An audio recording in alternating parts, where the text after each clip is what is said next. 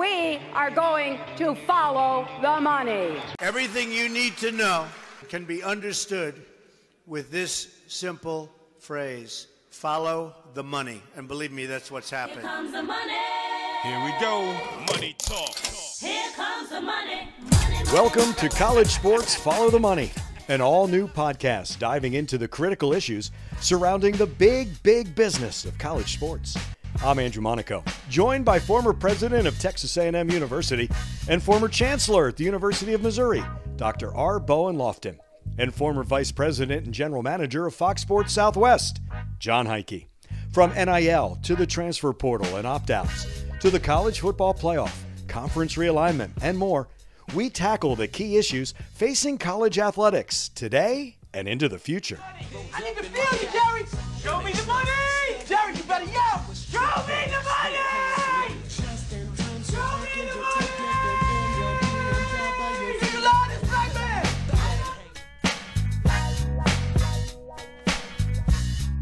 We welcome you to episode number 65 College Sports Follow the Money. We are inside the Pitbull Studios. I'm going to keep doing that until he signs on with us. Along with Dr. R. Bowen Loftin and Jon Heidtke. I'm Andrew Monaco. So glad that you are with us. I'm going to put this out there. Howdy, fellas. Hope you had a great Howdy. weekend. Howdy. Pretty spectacular weekend. I know it wasn't the result we wanted, but there's nothing like a college football Saturday nor a Saturday night, Kyle Field and on the campus of Texas A&M University. I've experienced a number of them. You guys have experienced a lot more. Something special. I've always said bucket list for a college football fan. I thought Saturday proved that. Oh, yeah. And anybody I talked to at the game uh, who wasn't one of the Aggie faithful who've been there many times was extraordinarily blown away and complimentary. They were complimentary for all the hospitality. They were blown away by 107,000 plus and what kind of noise they can make and what kind of passion they can express. Yeah, I had several Notre Dame fans in town too, and the good word I kept hearing was just wow. You know, they hadn't seen like game day was there. The whole, you know, you couldn't script a better way to, to do it with all of the activities and just the activation in Aggie Park. I mean, it looks spectacular. Yeah, I've got to give the nod to Wayne Roberts, Aggie Park, uh, through his late wife Shannon. Just just an outstanding backdrop, not just for all hundred for all 365 days. It's a great place on campus, but what a backdrop Yeah. for things like college game day. I, it just just phenomenal to have that. You love to see those kind of improvements, don't you? Absolutely, absolutely. It was also Mike Elko's first game as head coach of the Fighting Texas Aggies. Dr. Loftin, you wanted to get into the Coach Elko contract. Well, I, I did. I just thought it might be interesting to review. I think the, the terms have been known for a while, but uh, his contract uh, is really interestingly structured around incentivation. So that's where I, I think the the story is right here. Uh, beginning at the fifty thousand dollar bonus level uh, for things such as uh, multi-year academic progress rate, rate of 960, which is which is a good rate. Uh, uh, that's that's that's a really extraordinarily useful thing to challenge your your players with to really not only play good ball but also make good grades here at Texas A&M. Uh, Coach of the Year for the SEC, 50K. National Coach of the Year, 100K. Uh, appearing in the SEC championship game, 100K. And then the real money kicks in. Uh, make the CFP, make the 12 team playoff. That's a cool million dollars, guys. Uh, make it to the quarterfinals uh, or win the SEC championship. Either one is 1.5 million. Uh, advance to CFP semifinals, 2 million. Uh, play in the championship game, 2.5 million. Win that game, 3.5 million. Now, I'd point out these are these are not stackable. So whatever the highest one is, is what he'd walk away with, not the ones that may build up to that uh, in, in in a series, basically. But still, 3.5 million for winning the national championship is is serious change. And that's a reason to play hard and coach hard. I think, guys. I think that's going to be the contract of the future, uh, with the money having to go to the players these days. So I'm curious, Dr. Loftin, I should know this, but does he have an agent? It's not Jimmy Sexton, I don't believe, is it? Uh, I don't think it's Sexton. He has an agent, certainly. Uh, no, no coaches level. I mean, this contract puts him kind of in the middle of the SEC in terms of its regular terms. I think it's almost it is unique, I believe, in terms of its innovation. Nobody else has uh, a three point five million dollar kicker uh, at the end of the day. Uh, there's some serious kickers in the into the contracts here, but not that one. Uh, the other thing is that it's it's a less expensive contract than what we had before at Texas A&M. Um, and if he is dismissed without cause, uh, he walks away with uh, a payout of around 26, 27 million dollars. Uh, if it happens after one year and it's it changes over time, obviously. Uh, it's 75% really of his remaining contract terms is what he walks away with. Uh, at the beginning, it goes to 80% towards the end of the contract term, but it's it's actually a, a reasonable contract. And like the contracts I've signed dozens and dozens of times, it tells you, you know, uh, you you need to uh, you need to go after another job if we get rid of you, uh, and that's that's missing from a contract I could name that we've had here in the past. But that's t- typically what's there. What's missing is the complete part of that. Normally, those contract clauses only say you're encouraged to go find a job. They also say if you get a job, they're going to reduce your payout by whatever the amount that job pays you. Uh, that's missing from his, uh, but all that's missing from uh, the previous coaching contract we had here. So I think it's a reasonable contract. It, it builds in some real reasons to do well. Uh, not that any real good coach needs that, but I think it's it's a symbol of, of what value the university places on success, and I think that's re- it's reasonable. Uh, it's a reasonable contract compared to what others are out there today in terms of its buyout provisions. Uh, if he walks away on his own, it, it, costs him some money too, obviously. So it's it's got some give and take, and that's what these contracts should have is give and take, not just take. Uh, and I think that's that's reasonable. John, you said wave of the future. I think it's very similar. I don't know the numbers specifically, but I think Jeff Lebby's at Mississippi State when he was hired, uh, also in the mm-hmm. offseason. I think he his also had incentives built into his as well. And I remember the fight, let's say, I think when Brett Bielema left Arkansas, before he got back in college, he was working with the Patriots. And I think at that time they wanted to discount his NFL coaching from their buyout. So again, I don't think you can artificially constrict a contract because an agent will never go for that. There was an NBA coach who took a job at way below cost that the other 29 head coaches were not were not happy about. Um, but John, I agree with you. I think it is this is the wave of the future where I think the base will be decent, and then to incentivize after that will be the way to go. Yeah, because I think uh, the, I think in the past everybody's been paying coaches like they've already won a national championship. In this particular scenario, you've got to earn your way to that right, and I think again that's a very you know a very fair way to look at it as we go forward. Yeah, I, I recall negotiating with a, uh, a head coach uh, for a contract extension and, and, expansion, literally at a school I was a chancellor of a while back. And uh, I, I, thought that, that, Gary Pinkel was was a good coach. Well, he was worth it. Uh, unfortunately, I got into a situation where I was sitting next to my boss, the head of the system, and next to uh, Mr. Pinkel. And uh, it was a difficult conversation because I felt Pinkel wasn't asking for an exorbitant amount.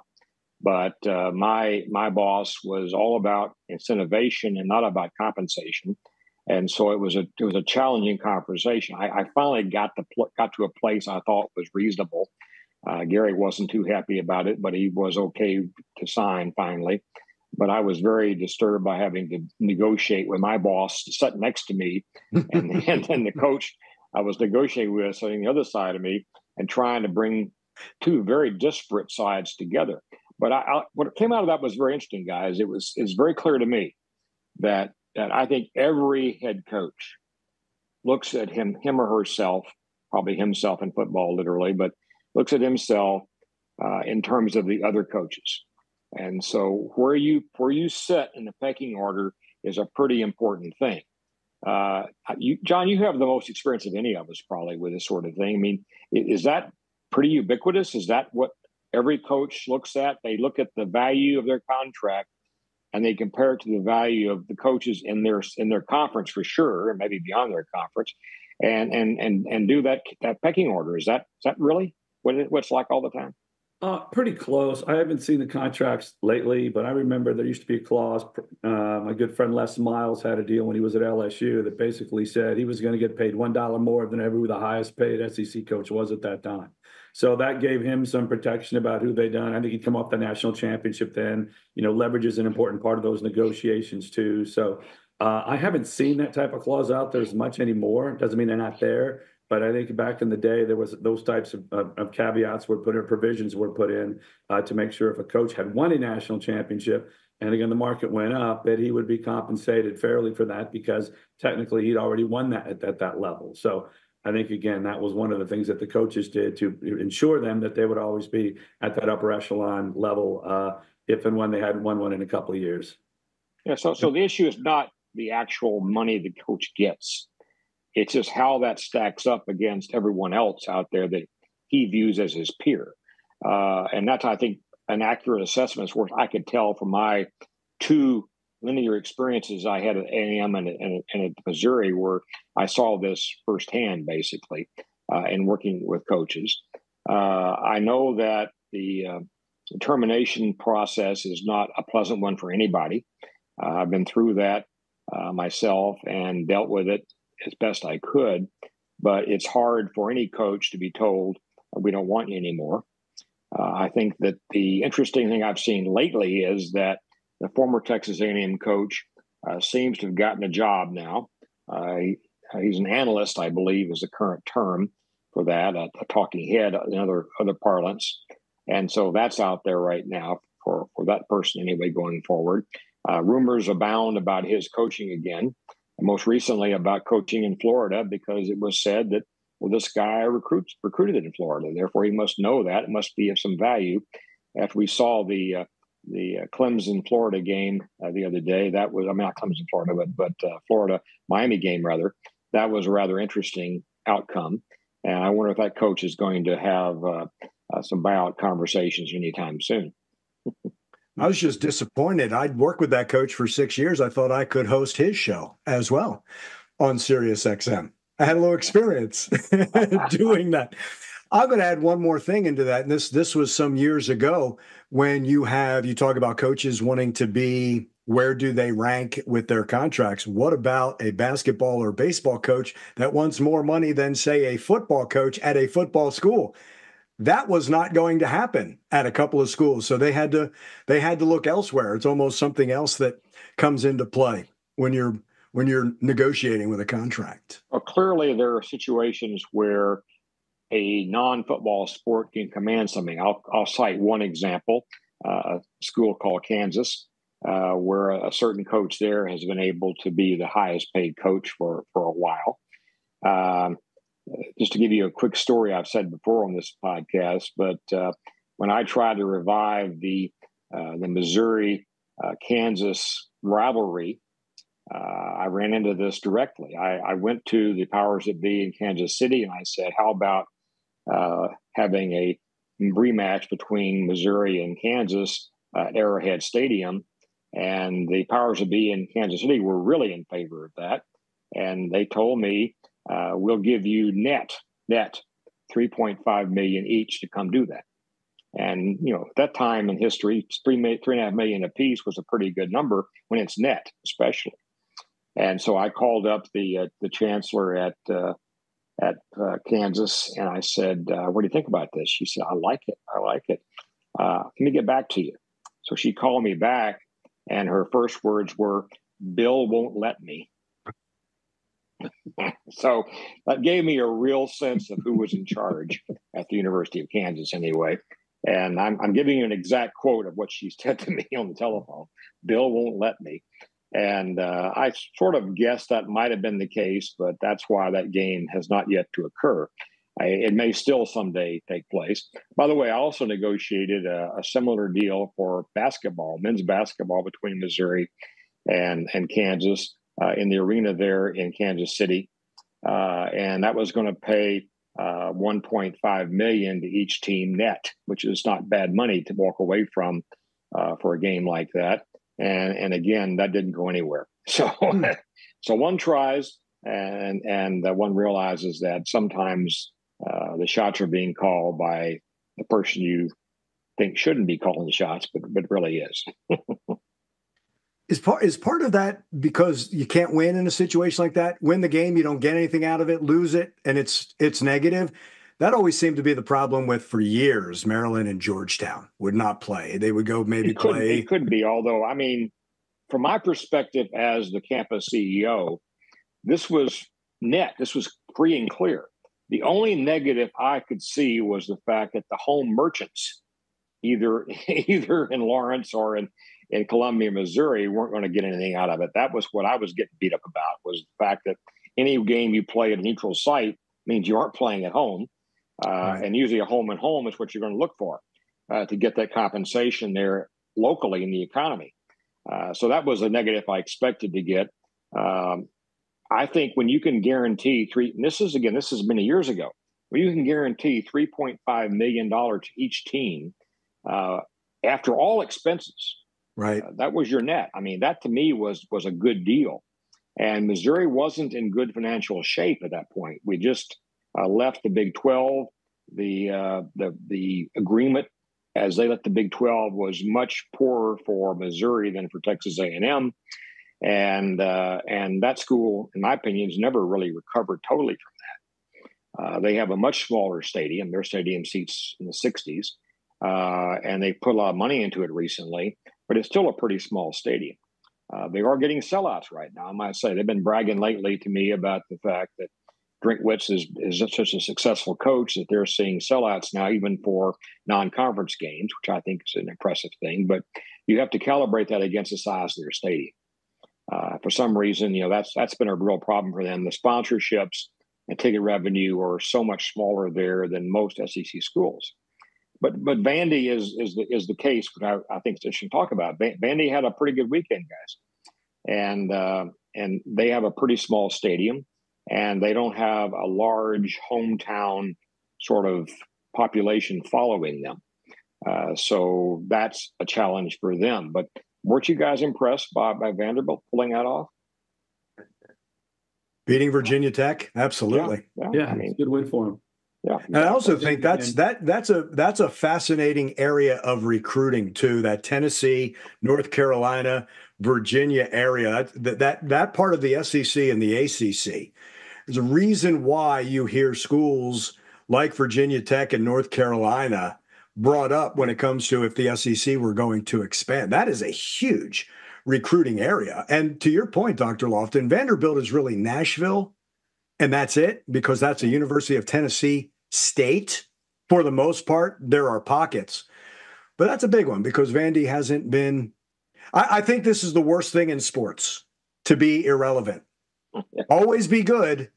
It's not always bad to be bad because you're talked about. When you're irrelevant, I think that's the worst thing to be. This made Vanderbilt relevant under Clark Lea. It certainly did. And I think the they've been relevant in baseball and basketball from time to time. That's been where they put their assets, obviously, and I understand that. Uh, but you know, in the SEC, football still sort of carries the weight, as we all know, and to make that game happen, you could argue Virginia Tech wasn't the strongest opponent out there, but that was a, it was a national game.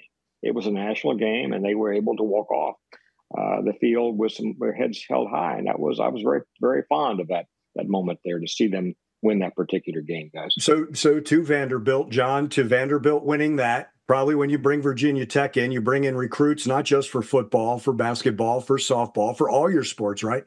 We just we opened this show by talking about A and Kyle Field and that residue of that. Vanderbilt feels that throughout all their sports. Do they not on a, in a win like that?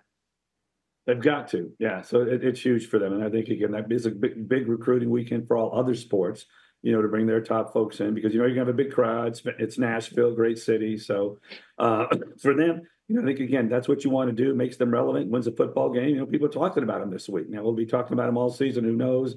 But part of the reason Vanderbilt won that game was the transfer portal. Mhm. You they were able to get uh, fill some spots in there and have a quarterback that did a pretty good job that game. And you know, and again, those kinds of things happen now. So it's not going to be uncommon to see some of the proverbial have-nots beat some of the proverbial haves in that particular in, in that particular realm. So to me, that's not as big as an upset in this day and age, but it's certainly from a Vanderbilt perspective, it was something that made that university feel very good. And a building block and a foundation for someone like Clark Lea, right? He gets there, and I'm sure their fans are saying, okay, when's that signature moment coming? And that's his first signature moment. Yeah, yeah, beating a good, you know, again, I don't know where Virginia Tech's going to end up in the ACC when it's all said and done, but certainly week one, that's a big win, and no one was expecting Vanderbilt to win that. You guys always talk about schools as brands, and in football, because of what Frank Beamer did for years, Virginia Tech has a brand. Yep. In foot, they used to be the underdog, right? Who would go anywhere?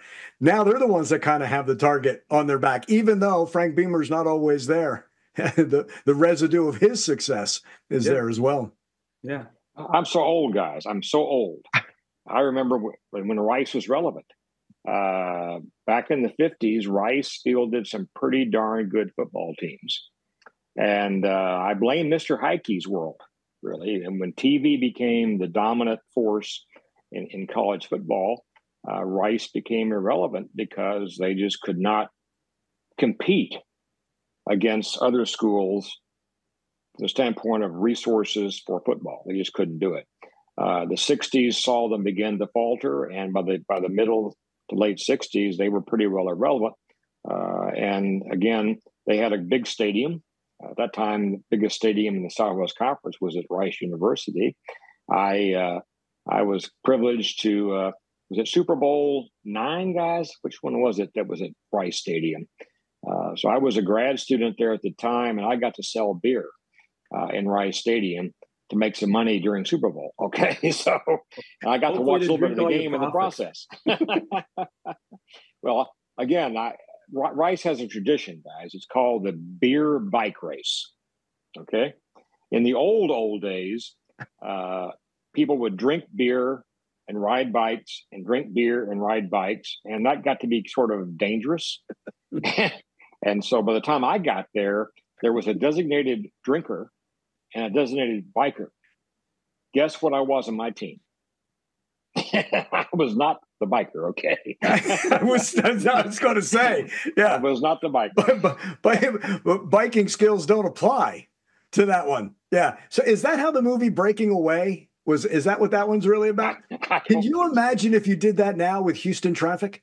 oh, God. Well, we did it. We did it at Rice Stadium around the track, and so basically the deal was the the drinker, me in that case, drank a 16 ounce beer as quick as they could. Uh huh. The biker took off, got back. When they got back, he drank a second beer. They took off, ran around the track again, and a third beer and a fourth beer to make a mile around the track. That's how it was all all worked out. Uh, the 16 ounce cans were actually had the tops removed the day before. And as you put it in your hands, the hole was poked in the bottom. So it was a flat beer, no, no, no foam anymore. Your your hand was over a hole in the bottom. You put your whole mouth over the top of the can, turned it upside down, took your finger off the hole, and just inhaled it. Basically, that's how that's how it was done on the drinking side of the equation, which I'm familiar with. Uh, but the uh, the the biker the biker was usually a pretty serious biker. Uh, unfortunately, we were grad students. We were too old, and the undergrad seemed to always win. At least the bike part of it. Only about that, that, experience. only that story tops how he began that conversation that John killed Rice football.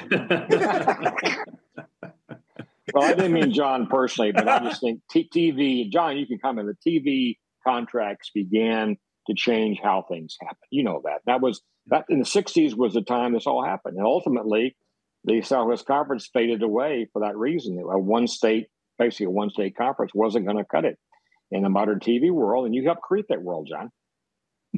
Yeah, I mean, uh, there's we, we probably could devote another whole podcast to the you know the history of that. Maybe we should someday, you know, to Yeah. go through that with the CFA and how everything kind of developed back in those days. But but again, a school like Rice, U of H, that stadium, I think with Neely in the early, the late fifties, early sixties, I don't know what happened to them, where they sort of again, the leadership at that school felt probably athletics wasn't as important as academics, and that was probably made as a conscious decision, and that's what ultimately happened. And no matter how hard they try, it's going to be hard to get them back. SMU, on the other hand, you know, they have been really going out of their way to bring their, you know, private institution, you know, to get them back up to uh to, to the levels that they were in the 80s. And I think you, again, will that will that play out? Who knows yet? We've talked in this podcast. At least they have a seat at the table today. They do. Uh, mo- moving to the ACC. Yeah. If we can put a man on the moon, but we can't be competitive in football, That was- right? yeah, that's right. Why does Rice play Texas? That's exactly right. So football. Speaking of those, speaking of those Yeah. games, guys, you talked about Kansas, Missouri. I mean, if you looked at this first week of the, the football season, I think again, if you look at the probably three of the four most watched football games were sort of those made for uh, made for TV classics. You had LSU, USC, number one watch game, obviously a great primetime window on on Sunday. Um, you know, we had the game at, uh, in Atlanta between Clemson and Georgia. So you talked about Missouri, uh, Missouri and Kansas. What a great way for them to play at Arrowhead to kick off a game there somewhere that. So I think you may see more of those types of games pop up. They certainly were able to generate eyeballs. Uh, the bowl games aren't quite as valuable as they are later in the season with all the different things that are going on there. So I do think the the first part of the of this season probably bodes well for schools to look for those types of games and play those types of games. I think I heard Saban talking on game day was like, why do you want to go beat somebody 70 to nothing? You really don't find out about your team in those particular areas. And versus going out and playing a really caliber, you know, high opponent matchup. In today's world of the playoffs being 12 teams, you can lose that game and still not going to hurt you that bad at the end of the day. So again, I would not be surprised to see more of those types of things, you know, take off just because I think there's again more revenue in those types of things, offsetting trying to play a home game for some of these schools. But look at Georgia does it. You know, these big schools do it. So the opportunities for revenue are certainly there. Recruiting is good for them and and being on those national television spotlights can't hurt either. with no NFL this first week, right? Not, and I'm not even including week zero, Yeah. but that first week, it's really a college football weekend. So it is Thursday, Friday, Saturday, Sunday, Monday for college football, filling that football void, if you will. yeah. I, So- I'd like to see really just getting away from, especially for the opening weekend when you have no NFL competition, to get away from the idea of playing a team you beat 75 to nothing. That just, I mean, why do I want to watch that? I mean, after the first you know, quarter, I'm done, basically. Uh, luckily, we had a few real games on that weekend that were really important. The commissioners would love, the commissioners would love to see there be a stack up uh, Big Ten, SEC, SEC, Big 12, uh, ACC, Big Ten games uh, around the country here. But coaches just fight fight that for obvious reasons. They don't want to be challenging their six game win requirement uh, in terms of getting to a bowl. But I think bowl games to me are much less important than getting butts in the seat at your own stadium. And you do that by having a relevant game there. And I think it was a very relevant game in College Station, a very relevant game uh, at Georgia, for example. So we had some relevant games, but we had some very irrelevant games as well. And I'm just hoping we get away from that, especially when you go to one more conference game, which Right. the Big Ten has done now. Uh, you know, that's you have that. Give them a couple of these big win games if they have to, but then make sure the other game is going to be a true uh, non-conference game, which has meat to it, some real intense meat to it in terms of the competition that's there, and you will get the TV audience. You'll get the butts in the seat at the stadium for that. Uh, I, I'm guessing McNeese won't be quite as full as Right. 107 plus thousand we saw at Kyle Field this past Saturday when Notre Dame was there. Guys, you think about that? Yeah, you're exactly right. John, I like the point you made. I think a 12 team playoff makes this a little more viable. Yeah. I think in four, if you if you look at four, right? Probably don't want to do it. Unless LSU runs the table, they're out yeah. in week I one, saw- right? I saw uh, some stats the other day that Florida State, if they win the ACC, can still, uh, you know, you know, be in the tournament after going zero and two. So, remember when you're the Cowboys didn't have Emmitt Smith up the season zero and two, and then they ended up winning the Super Bowl. So, you know, again, just getting in the tournament is what the, what it's all about. And again, at 12 teams, you know, and again, I think you learn more about your team playing. I mean, I think LSU learned more about their team than if they'd have played McNeese State this past weekend. So those are things I think as a coach you will probably take back and use that as a learning tool or a coaching tool that's going to get you better versus again beating somebody up, you know, 70 to nothing. I don't know what you learn there we started by talking about the contract, Dr. Loftin. So I know that a, a, coach would want that for the six wins and a bowl, but another very simple way to do this is to give teams those 15 practices after the season, whether you make the bowl or not. Yeah. I know how valuable that is for coaches. Maybe you just waive that, that you don't have to make a bowl. You still get those 15 to use as you please. Well, then the dead period. Elko's contract is silent on bowl games. Think about it. and and Ross Bjork said at the time he's supposed to make a ball. That's what Ross said at the time. He's supposed to make a ball. There's no incentive for that. Yeah. Fair, unfair. But that's a great point, Dr. Loftin. When you when you read off those that that was not in there. Right, exactly. And I think that's that to me is where we're headed down the road here. There's no reason these bowl games, other than the ones that are in the playoffs themselves, these bowl games are simply not relevant like they used to be. Uh, they were at a time. I'll be the first to say it. Correct. They were wonderful, but I mean now we moved on to the playoffs, and that's with 12 teams now. That is a very, very central focus for every football fan out there, every football player out there, every coach out there is to get those those playoffs. Bowl games to me fade away at this point in time. And I'm I don't mean in disrespect to the bowls. They've done no. a great job. They've incentivized people. Uh, they treat people very well. I've enjoyed being in bowl games as one of the teams uh, and they treat you very, very, very well. I've got an entire shelf of watches, guys, an entire yeah. shelf of watches. Okay, but but, uh, but to your point, I think those bowls now. To yours and Jon's points, I think those bowls now can be that first weekend. The reason why we love bowls is we saw matchups we would never see. Now, if you expand that, when's LSU playing USC? We talk about this past weekend, the last time A&M and Notre Dame played, and you're talking about the old great Cotton Bowl games that they played. So maybe the that shift of intriguing matchups aren't coming in December any longer, but in September. And to Jon's point, the numbers bear that out. The television numbers bear that out. Yeah. And, and, Dr. Loftin, even though those bowl games may not be as relevant as they once were, they're still great content for networks like ESPN because they can schedule a Monday, Tuesday, Wednesday, Thursday, mm-hmm. you know, during the month of December. Usually a great promotional vehicle driving all that audience toward their CFP playoff coverage. Right. And for those and for those communities as well, Jon? Yeah. And there's still teams that want to be there. I mean, if you're Middle Tennessee State and you get there, you're Sam Houston or some of these guys get invited to that. That's great for them. I think again, it's it hope springs eternal. But for your big boys, I mean, it's it's CFP or bust for the most part. Football eventually is going to get to 105 spots. I didn't say scholarships; it's going to be spots, right? We get that. So, Dr. Loftin, our next point: what happens if the House versus NCAA settlement? What happens with the roster limits and the scholarships if this is all approved by the judge? Well, you know, 100. I think most coaches would agree that 105 is enough. Uh, 120 rosters are going to go go away if this is this is agreed to by the judge, and I'm pretty sure it will be. Uh, clearly, what happened here is that the NCAA saw that if they were to impose scholarship limits themselves, that'd be one more litigable kind of thing here, one more thing to lose in the courts. They've lost everything so far. And so they were keen on negotiating uh, with the House plaintiffs that let's have roster limits, scholarships for everybody, basically. What I want to ask you guys about, you're keen observers of the sport, of the atmosphere, of the culture. Walk ons in some schools, walk-ons have been very, very, very important. I can think about the Jackie Sherrill era at Texas A&M and what walk-ons meant there in terms of the 12-man kickoff team.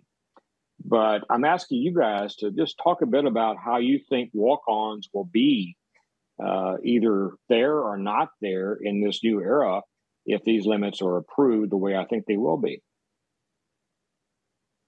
Well, my first thought is that again, let's look at the NFL model, and as we discuss it, they have what they call a practice squad. So if your walk-ons become sort of like that's what they're delegated as, I think walk-ons are important and they should be part of this tradition. And there needs to be a way to find to create that opportunity for these types of student athletes to still get a shot, or students at that point who still get a shot at uh, you know th- these these dreams that they have. So I think you know cooler heads will prevail, and they'll figure out a way to have walk-ons that may not be considered part of the 105, you know, again, it doesn't seem like it should be that difficult to figure that out, but using the NFL model, create some type of practice squad relationship.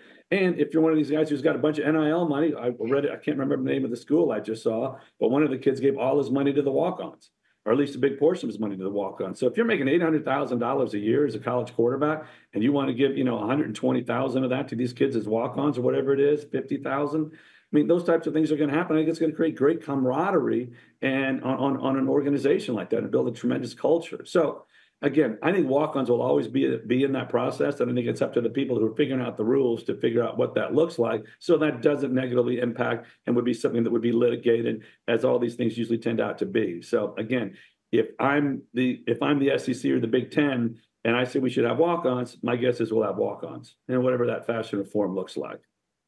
Charlie Condon, Georgia player, walk on, second pick in the MLB draft. If there are no walk ons, there are no Charlie Condon stories. Yeah, exactly. And, and, that's why I said 105 spots. I didn't say 105 yeah. scholarships because walk ons will take on those spots. And that will be the same thing for 34 spots in baseball. It might be 24 scholarships. But I'm with you. I think the I think the walk on now some schools don't value walk ons. But then again, there were some schools they loved not just red shirts, but gray shirts. And they just took everybody to to Dr. Loftin. Your point when you said 120, that was the fair number for a lot of schools because yeah, they weren't on scholarship, but you could keep them uh, on on your team. So I, I, I, again in in Texas A&M, let's let's yeah. talk current 12th man Nana Boede Wusu, right? Arlington Martin High School doesn't play football till late. Myles Garrett comes back to school. Nana says, Can I work out with you? He said it very timidly. He wasn't sure. Myles said yes. That was the impetus to have Nana play football. Nana asks his high school coach, "Can you call Texas A&M in a walk-on?" His coach called Terry Price, and Terry said, "I will make it happen." That's the reality of a of a walk-on, and there's a lot of those realities. Um, and, and more there's, importantly, there's an inst- there's an entire restaurant chain called Walk-Ons because he was a former walk-on, and now he owns the restaurant and restaurants actually uh, plural, uh, not just here in College Station, but I think they have the Waco and Conroe as well. I, I, think there's I think there's definitely a place, and not just in football. I think in all sports. In all sports too. I do agree with you like that. And plus, these are great stories that college football needs to tell from time to time versus Agreed. all the other ones that we tend to hear about. I mean, there would be no Rudy if this wasn't the case. And we're still talking about him 40 years after the fact. So there is, I think there'll always be a place for walk-ons in all sports. And I think again, there should be a way that, you know, the the, the powers that be can figure that out where it's not going to be in a situation that's going to be litigated all the time. Well, I, I think there'll be a quite a shift though. Look at the power four, they'll do it one way. Uh, the group of five, a different way. And those schools down in, in D2 and D3 yet another way. One of the problems I see is the private versus public situation.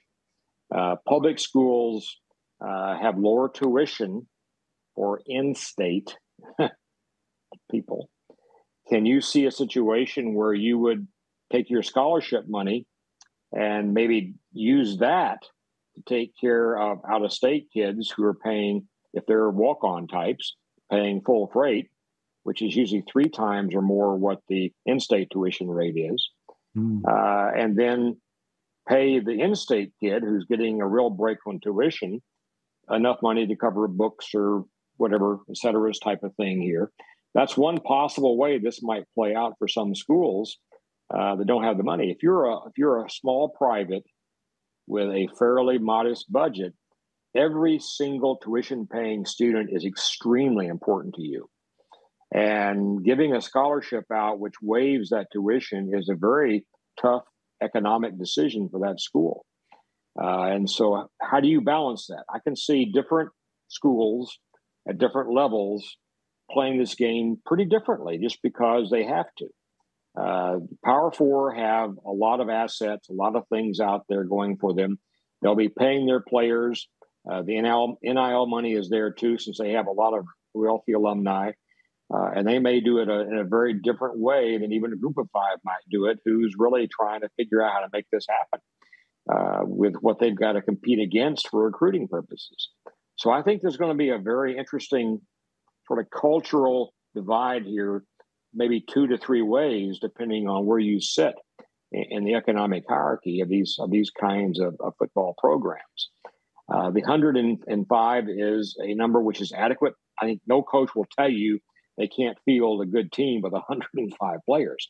They they can do it with 80 for that matter, but they or 85. They can do 100 with 105, no problem. It's going to be how you mix that up. How do you really deal with that? And I just think that some schools like Texas A&M have had a long history of valuing walk-ons. And I, am looking forward to Jon. Jon's right. Something will work out here. Something will fall out of the tree here that gives uh, us a capability of maintaining that at the schools that want it. But I think the the real story may be a group of five, and even some of these uh, D three and D D uh, these two schools that are trying to just make it work. And not many, but occasionally we see uh, players emerging, uh, even from down in D three, that make it in, in the pros. It doesn't happen very often, but it happens, guys. So you have those those jewels hidden down there, and nobody saw them but some local coach or maybe there was some private personal reason they decided to go to a particular school. And I hate to see it go away. That gives you that wild card you've always enjoyed watching, right? Uh, we enjoy seeing those wild cards out there. Having a kid uh, come from nothing and make it big is still an American story to all of us. And we don't want that to be impossible anymore. So I think it's going to be a challenge out there. Uh, I just don't know how it's going to work out. I think the other sports have their challenges too. I think Title IX is still to be understood. I mean, what's that really mean? Uh, will scholarship values be equivalent uh, between male and female sports completely? That's going to be an interesting question. And uh, if it's not equal, I know litigation will occur. If it occurs, will there be rational behavior on the part of the judges and juries that might make those decisions. I can't predict that right now. But there's a lot of, of miles to go yet before we see uh, any kind of stability in the college sports world. Football is a male sport so far. That's going to be what it's going to be. I got all that. Uh, baseball is there. Softball has a somewhat lower limit uh, in terms of its roster size than, than baseball does. Uh, but look at you got 50, 50 girls are going to be there for equestrian. That's that's the limit there, guys. Fifty. That's a hefty number, okay, for a, for a, a non-revenue sport to deal with here. And I might say that horses eat a lot. I know I pay for one. So uh, so that that's one of those things that you got to deal with in terms of how you expense that out. And what schools survive? The SEC is down to four teams that field equestrian. Four and that is the absolute minimum number uh, by conference standards you can have to have a conference championship. And uh, I think every year is going to be the year we see it drop down to three, and maybe that sport go away. Uh, the NCAA itself would like to see equestrian go away because it's not one of those sports that's growing. It's one of those sports that's shrinking right now. It's going to be team by team, right? Especially in group of five. And it may determine where a student athlete goes. If that one school, I mean, when we say limit, doesn't mean that every school is going to give out 105. When we say limit in baseball, you know, 34 spots, probably 24 scholarships. Doesn't mean every school is going to give out 24. It may determine where student athletes go, and it may be a reason why some programs accelerate. And again, this is going to come from the money that gets generated, right? From boosters and alums. That may also determine why a certain school will be a breakout school and why some schools that have been good, if they don't have the money nor the resources, student athletes aren't going to go there. It could go both ways, I would think. I agree.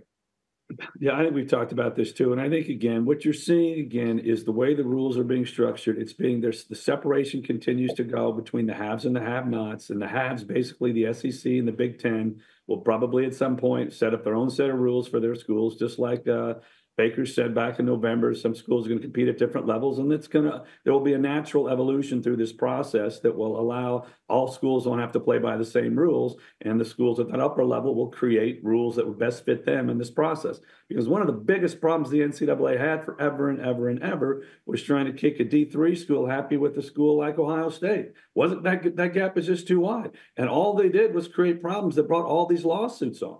So no one else is to blame but them for the last 25, 30, 40 years of how they handled this. So now there's a chance to write the system and build yourself a model that's going to work, that's going to be sustainable, and hopefully is going to be, you know, have minimal opportunities to be litigated against because the members have put the rules together. Jon, final topic for our show TV contracts, the new ones and the changed ones are they affected in this college space, given what has happened recently in the uh, professional sports space? Do you see any changes or anything upcoming for TV contracts in college?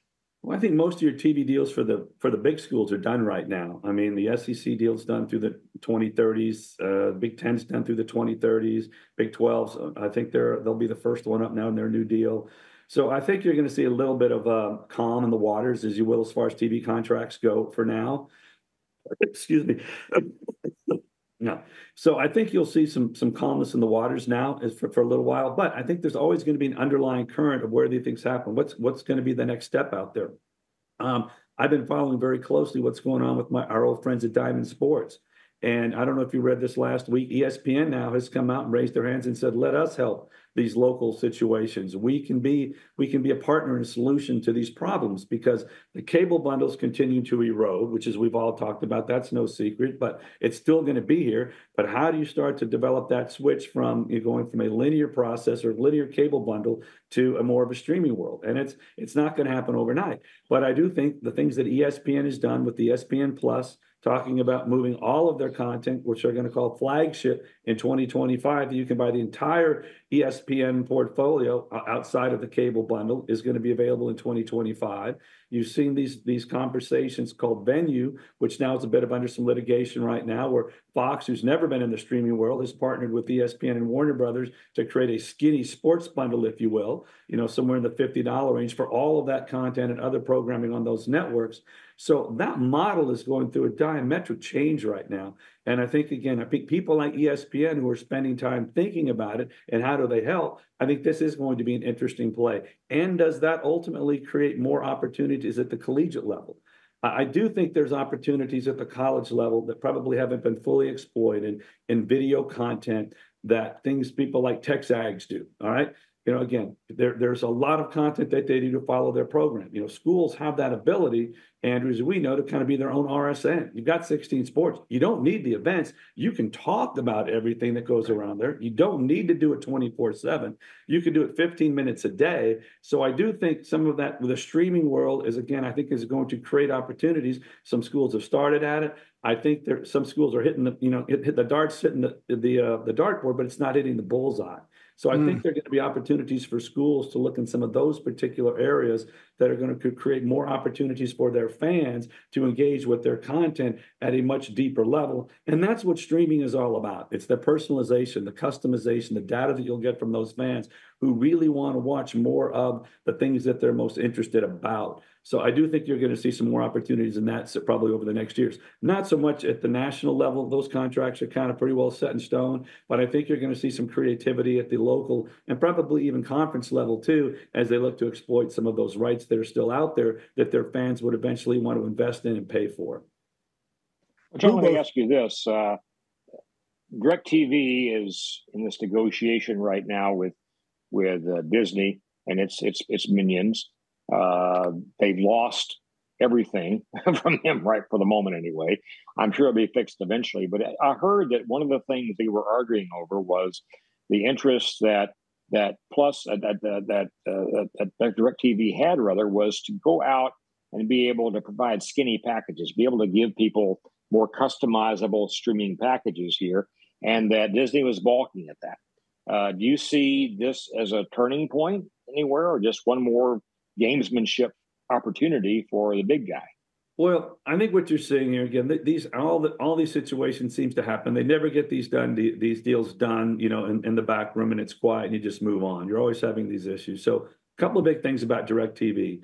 One of the things that they're trying to do is they're still the, probably the second, third largest distributor out there in the linear bundle. Over 10, 11, 12 million homes they've got across the country. So what they're trying to do is make sure that they don't have to pay for a lot of content that their their viewers don't want. If you're ESPN and Disney, you know, you certainly ESPN's valuable. They want to pay that, but there's free form. There's all these other networks that Disney pushes down on them that they don't necessarily want to care and pay for. And so Charter was able to successfully cut a lot of fat, if you will, from their last time they did the Disney organization. They negotiated with Disney. But Charter also has a broadband business. All right. So they could say, look, we're going to exit the video business and we'll focus on broadband. And that's where we'll carry ESPN Plus, your flagship, all your other things somewhere down the road in that environment. DirecTV doesn't have that option. They're really strictly video. And so they're probably not going to have as strong as a leverage point in this area as possible. But I think they'd still like to be able to create push back, cut back some of the ESPN or the Disney content that they have to carry.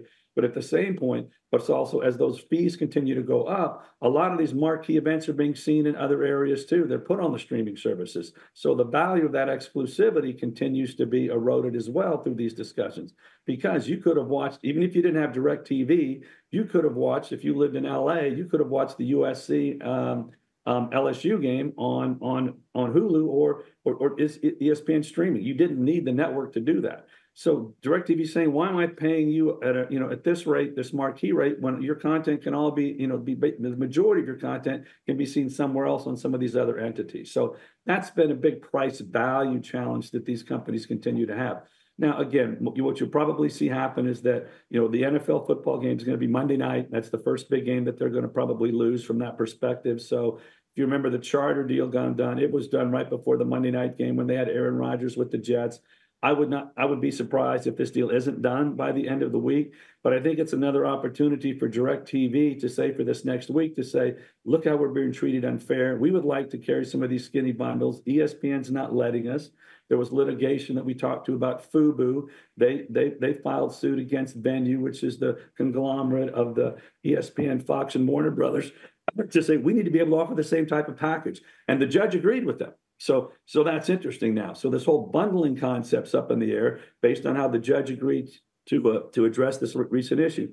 So I think, and DirecTV was one of the first people who came out and said we support the judge's decision on this because it gave them more ammunition for their argument to say we would also like to do what they're doing, create these skinny bundles. Because again, one of the things about DirecTV is you still have to pay a hundred and something dollars for 700 channels. They've got a couple of different things in there, but ideally, if they could say, "Hey, I'm only going, I'm a sports fan, and all I want to pay is 50 bucks," they'd like to be able to make that offer to their sports fans as well. So I think again, it's all part about how the uh, the distribution channels are changing, primarily how consumers are consuming, and again, how do they build the right package for those different peoples and a sort of a more antiquated legacy package of direct TVs and the charters, et cetera, versus the new world, which are the Hulus the, and the streaming world. So it's going to be an interesting thing. And these are just continuing battles and skirmishes that we're going to see as time goes on, as they still try to figure out how is the best way to reach these consumers and give these the consumers the packaging and hopefully pricing that they want to consume the content that's most valuable to them. And the strongest will survive, right, Jon? And the strongest will survive. Yeah, so that's why each company is going to either get, like you say, off as many offers as as we get away from the um, old cable, everything on. You have everything. Can we go skinnier? And that's a way to keep instead of paying 120 a month. Maybe yeah. we can still keep that customer. Yep. We're still getting 50 from that customer instead. Yeah, it, it's going he's to be happier because there's 700 channels he doesn't watch that he's probably no longer paying for. Great point. Great point. Be fascinating. We'll see how that all plays out. Yeah. Great episode, guys. Fantastic. Good to see y'all. Yes, sir. Andrew, here, you are you are the face and the voice. yeah, face for radio. Go ahead, go with it. I didn't go with it. That, I know you didn't. I know you didn't. And the I camera's should... on you right now. yes, it is. Dr. Loftin, Jon Heidtke, thank you so much. I'm Andrew Monaco. Reminder: College Sports FTM at gmail.com. If you have questions for us, we'll see you again in our next episode. Nick Savage, thank you very much as well for all of us. So long.